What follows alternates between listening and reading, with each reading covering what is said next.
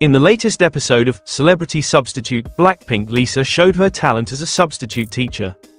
Along with host Julian Shapiro Barnum of Recess Therapy, Lisa teaches a third grade elementary school class in New York City.